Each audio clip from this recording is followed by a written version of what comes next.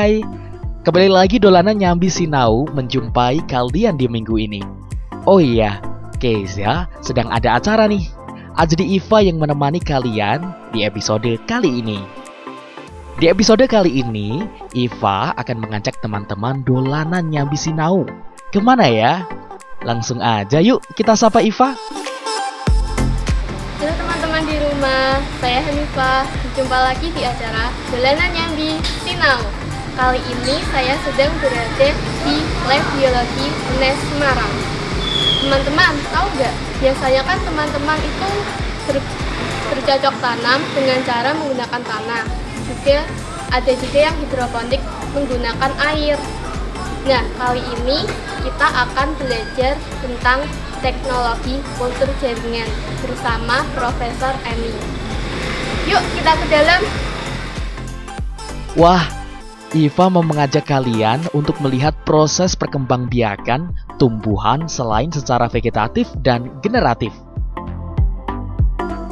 Kalau perkembangbiakan tumbuhan secara vegetatif dan generatif sudah ada di pelajaran sekolah ilmu pengetahuan alam, tapi yang kali ini belum ada di pelajaran ilmu pengetahuan alam tingkat sekolah dasar loh, yakni menggunakan sistem kultur jaringan.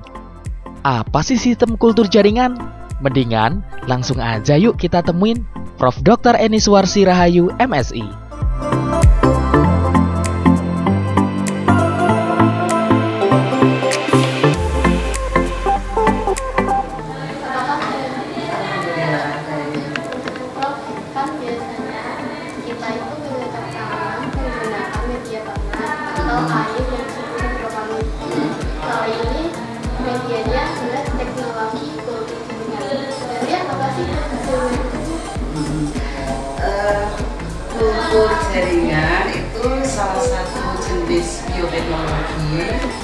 Yang digunakan untuk memperbanyak tanaman. Dan tanaman itu yang sulit untuk diperbanyak atau dikembangbiakkan di alam. Itu eh, salah satu tujuan. Tetapi tujuan kultur jaringan yang lain itu juga bisa untuk memperbaiki sifat tanaman bisa untuk melakukan pelestarian tanaman seperti itu Tanaman apa saja yang cocok digunakan untuk teknologi jaringan? kalau tanaman yang cocok itu banyak dapat dikatakan semua tanaman cocok untuk dikembangbiakkan dengan kultur jaringan hanya karena ini merupakan teknologi yang membutuhkan fasilitas tertentu maka kita harus memilih memilih jenis-jenis tanaman yang langka yang sulit diperoleh di sekitar kemudian yang mempunyai nilai ekonomi tinggi kemudian juga yang tadi seperti saya katakan sulit berkembang biak di alam sehingga harus diupayakan dengan teknologi Boleh kalau saya ikut kegiatan membuat teknologi kultur jaringan? Oh, boleh, boleh, silakan. Jadi di sini kami uh, laboratorium kultur jaringan tanaman jurusan biologi UNES itu uh, membuka kesempatan untuk siapa saja yang berminat melakukan lati- pelatihan teknologi kultur jaringan.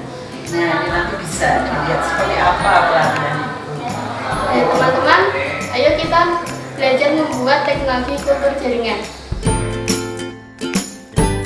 Sebelum kita lihat proses pembiakan vegetatif dengan sistem kultur jaringan, seperti yang dijelaskan Ibu Eni, bahwa Sasana Kultura ini merupakan unit jasa yang ada di Universitas Negeri Semarang yang berdiri sebagai implementasi program IPTEK bagi kreativitas dan inovasi kampus.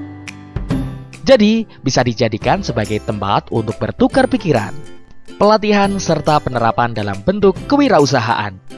Wah, keren ya. Hmm, kakak-kakak mahasiswa dan mahasiswi lagi pada sibuk nih. Iva jadi penasaran pengen tahu bagaimana proses perbanyakan vegetatif dengan sistem kultur jaringan. Ini sudah ada di biologi.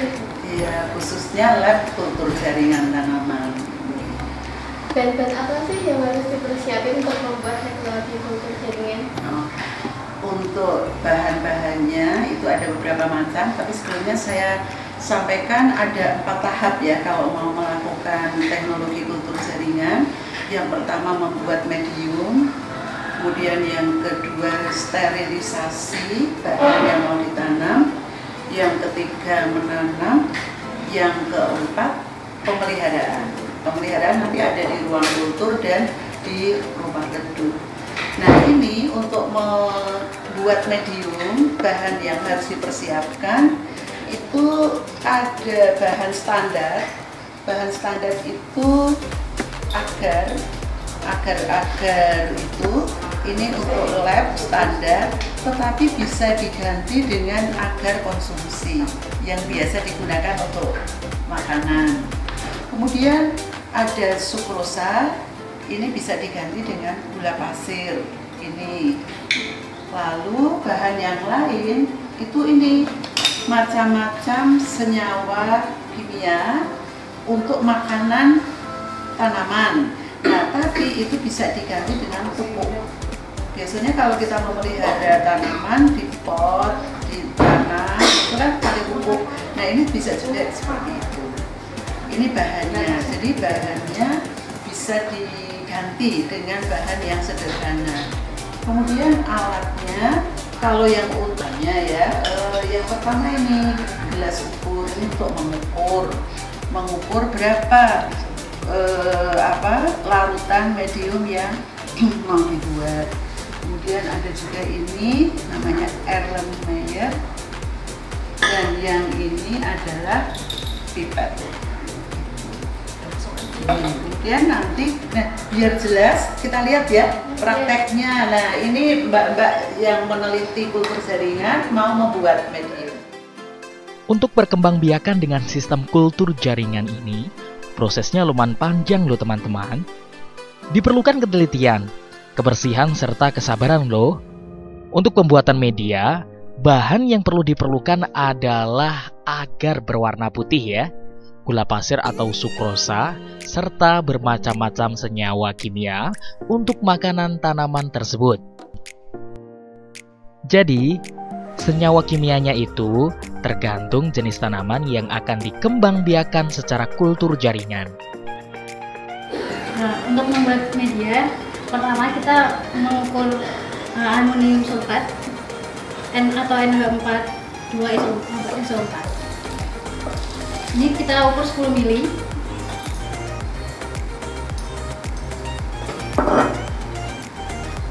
ini NH4 2 ISO 4 atau aluminium sulfat jadi agar tadi dimasak dan dicampurkan dengan nutrisi senyawa kimia yang sudah dicampur menjadi satu, meliputi NHSO4, ClCO2, dan masih banyak lainnya.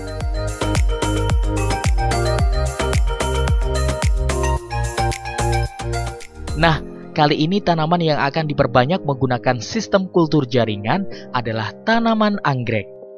Kemudian, media tadi dimasukkan ke dalam botol yang steril, teman-teman. Caranya, botol-botol tersebut harus direbus terlebih dahulu, sehingga kuman dan bakteri akan mati. Baru deh dituangkan campuran agar dan nutrisi sebagai media.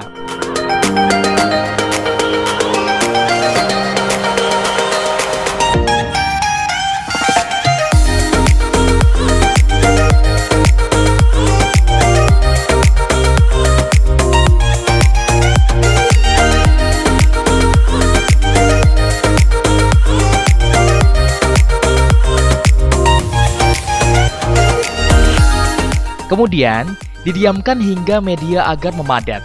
Tentunya juga harus di tempat yang steril loh teman-teman, selama kurang lebih 4-5 hari. Sehingga tidak terkontaminasi kuman, bakteri, dan jamur dari udara bebas.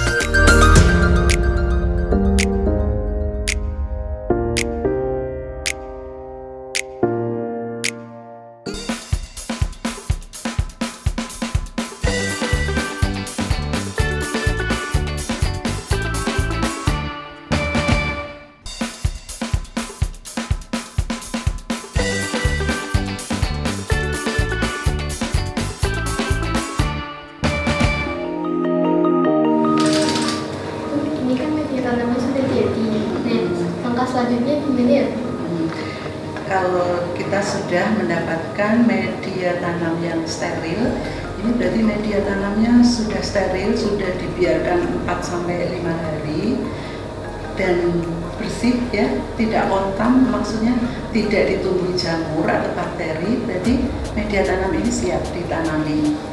Nah, apa yang ditanam? Nah, yang ditanam itu bisa macam-macam, bisa potongan daun, bisa kuncup, bisa potongan akar, bisa juga biji. Nah, tapi biji yang apa layak ditanam dengan kultur jaringan itu biji yang sulit dikecambahkan di alam.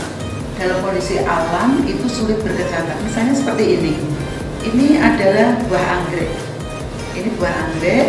Di dalamnya itu terdapat biji yang kecil-kecil Nah, kalau biji yang kecil-kecil ini ditanam di tanah, ditabur di tanah, sulit sekali tumbuh, hampir tidak bisa tumbuh.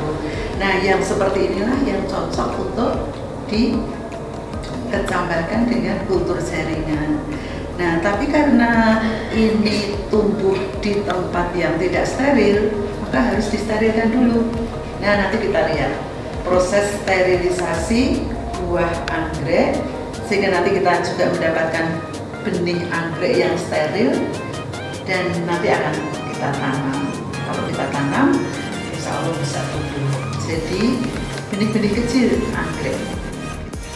Teman-teman pasti sudah tahu dan tidak asing dengan tanaman anggrek yang memiliki bunga indah. Dan tanaman anggrek ini sangat sulit dikembangkan secara alami. Sehingga kali ini tanaman yang akan dikembang biakan dengan sistem kultur jaringan adalah tanaman anggrek yang diambil dari bijinya. Langkah pertama, tanaman eksplan harus dicuci bersih menggunakan air. Kemudian, disiapkan peralatan dan perlengkapan lainnya yang pengerjaannya juga di laboratorium. Kak, setelah eksplan dicuci bersih, langkah selanjutnya apa ya? Ya ini setelah dicuci bersih, nanti kita menanam di dalam alat Nah, alat ini dinamakan LAF atau laminar air flow. Nanti kita menanam di situ, kita potong-potong, isinya nanti kita sebar di dalam botol yang sudah terdapat media.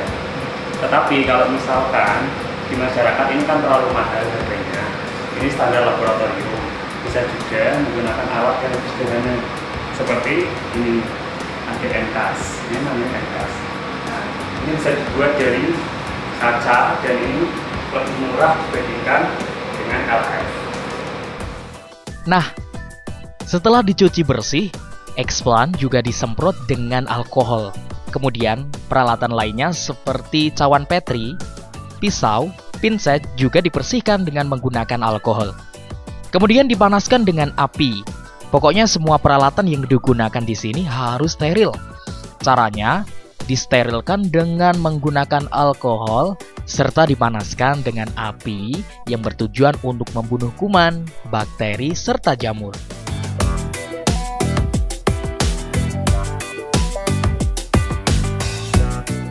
Kemudian tanaman eksplan diambil buahnya dan dipotong-potong menjadi bagian kecil untuk kemudian dimasukkan ke dalam media yang sudah disterilkan tadi.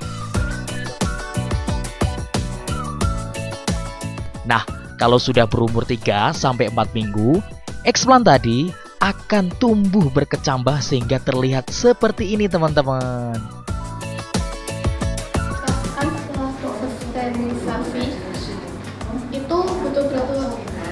Butuh waktu berapa lama ya kak untuk kecambahnya itu tumbuh?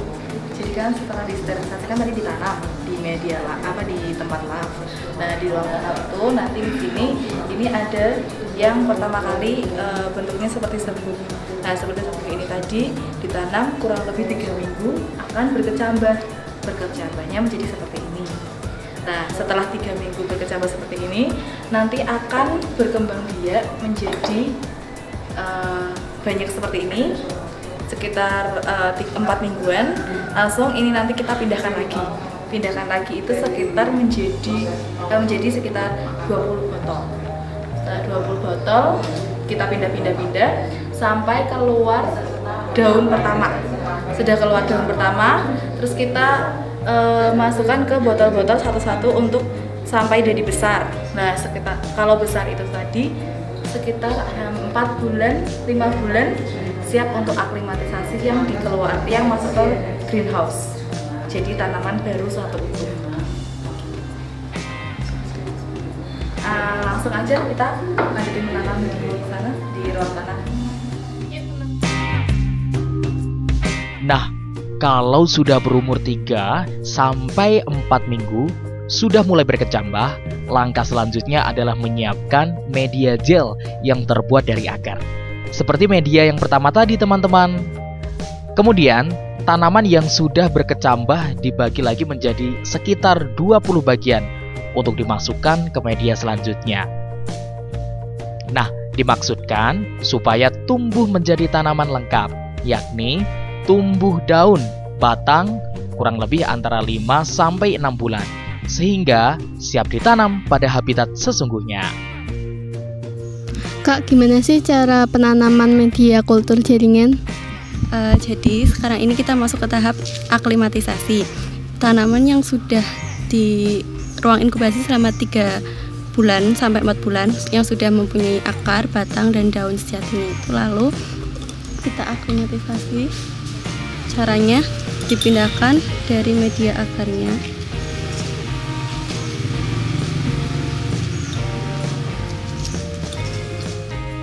Nah, setelah berumur 5-6 bulan dan sudah tumbuh menjadi tanaman sempurna, pelanlet anggrek siap ditanam.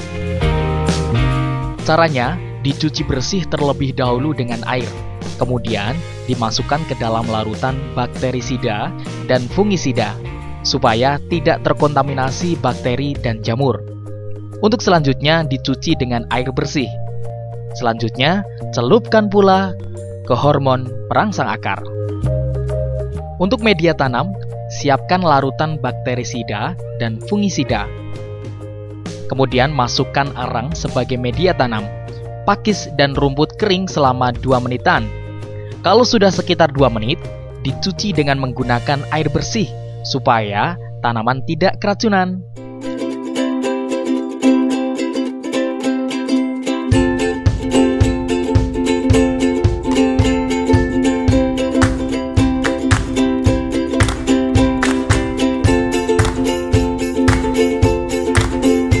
Setelah tanaman ditanam pada media, tak ketinggalan disungkup plastik selama kurang lebih dua minggu. Setelah dua minggu dilakukan penanaman seperti biasa.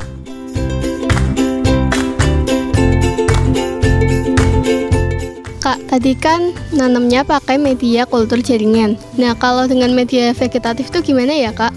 Uh, jadi untuk anggrek yang memang sudah tumbuh dewasa, misalkan uh, dari lab gitu kan. Nah, ini bisa dipecah.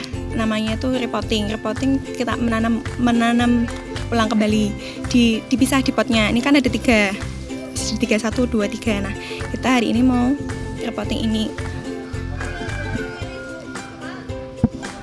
Bisa minta tolong sebelumnya uh, untuk uh, seperti pisau, kemudian potnya bisa direndam dulu di, di larutan bakterisida dan juga fungisida tolong dimasukkan? Masukin aja. Dua tiga. Oke masukin. Semua. Kemudian setelah uh, kira-kira setengah jam. Kemudian kalau alatnya sudah direndam dalam larutan fungisida dan bakterisida terutama pisaunya bisa digunakan untuk memotong ini. Kan juga butuh bukan steril yang penting bersih sih. Tuh. sudah. Ini akarnya sudah tidak sempurna dan tidak melekat pada potnya maka dia gampang diambil. Apabila dia sampai tumbuh e, melebihi atau keluar pot begitu jadi dia harus direndam dulu di larutan bak uh, larutan air maaf, maaf. Seperti itu. Nah karena ini sudah sudah bersih ya tadi ya bisa digunakan untuk memotong. Motongnya biasa seperti memotong diiris terus dibelah-belah gitu. Pastikan Tanaman seakarnya dipotong kemudian direndam ke dalam larutan fungisida dan bakterisida selama 5 menit, kemudian dicuci dengan air bersih dan tanaman dimasukkan ke dalam media tanam. Teman-teman, tadi kan kita sudah belajar cara penanaman dengan cara vegetatif. Kak, gimana sih cara penanaman dengan cara generatif? Ya, uh, generatif kita dengan cara menyilangkan. Jadi menyirang, menyilangkan ini tadi kita ambil bunganya. Bagian bunga itu kan ada benang sari sama putik. Adalah alat kelamin. Jadi alat kelamin jantannya itu benang sari, alat kelamin betinanya itu putik. Jadi di anggrek ini nanti kita mengambil uh, benang sarinya, serbuk sarinya itu tadi uh, kita masukkan ke dalam uh, putik. Nah, ini nanti kan ada yang warna ungu penyilangan warna ungu dengan yang warna putih. Nanti akan timbul warna yang uh, hasil keduanya muncul jadi satu anakan yang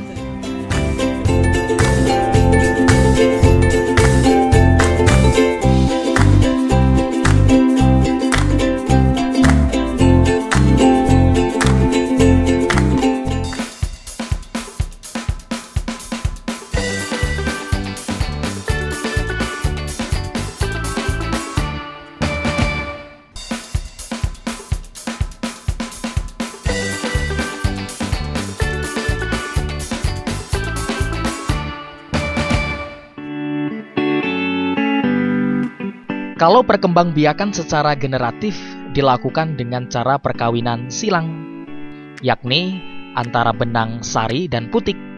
Pastinya teman-teman tidak asingkan dengan proses perkawinan silang pada tanaman. Kak, ini butuh berapa butuh waktu berapa lama sih Kak biar bisa jadi buah anggrek seperti ini? Jadi kan tadi kan uh, habis menyilangkan. Nah, setelah menyilangkan nanti ada tanda-tanda untuk terbentuknya buah itu adalah mahkotanya mengalami uh, uh, layu. Terus akhirnya buahnya itu tumbuh. Nah, sekitar 3 sampai 4 bulan nanti akan uh, tumbuh seperti ini. Nah, nanti 3 sampai 4 bulan itu tadi sampai dia sudah layu seperti ini nanti sudah di, bisa digun apa di ditanamkan lagi ke uh, kultur jaringan lagi media kultur jaringan untuk perbanyakan kembali. Jadi, dengan perbanyakan tanaman secara kultur jaringan itu memiliki banyak keuntungan loh teman-teman. Di antaranya, bisa mendapatkan tanaman baru dalam jumlah banyak dengan waktu yang relatif singkat. Memperoleh tanaman baru yang bersifat unggul, jumlah yang dihasilkan banyak tidak terbatas. Resiko terkena hama penyakit kecil pengadaan bibit tidak tergantung musim, dan masih banyak lainnya. Nah, kalau teman-teman atau kakak-kakak ataupun bapak ibu kalian ingin belajar tentang sistem kultur jaringan, bisa kok berlatih di Sasana Kultura Laboratorium Biologi Universitas Negeri Semarang. Karena selain banyak manfaatnya, juga bisa menjadi sarana untuk menyelamatkan tanaman-tanaman langka yang hampir punah. Caranya dengan diperbanyak dengan menggunakan sistem kultur jaringan tadi. Terima kasih ya Bu Eni. Iva dan teman-teman sekarang sudah tahu bagaimana perkembangbiakan dengan cara kultur jaringan, generatif, dan vegetatif. Sama-sama. Mudah-mudahan bermanfaat ya Mbak Iva. Dan kalau nanti ingin bisa melakukan kultur jaringan, Mbak Iva dan teman-teman bisa datang ke Laboratorium Biologi UNES di Gunung Pati. Jadi nanti bisa latihan bagaimana melakukan persilangan anggrek, bagaimana melakukan perbanyakan secara vegetatif dan secara kultur jaringan. Mudah ya, mudah kalau kita suka, kita tekun, kita teliti pasti berhasil. Teman-teman, sekian episode Dolanan Nyambi Sinau kali ini. Jumpa lagi dengan Iva minggu depan. Dadah!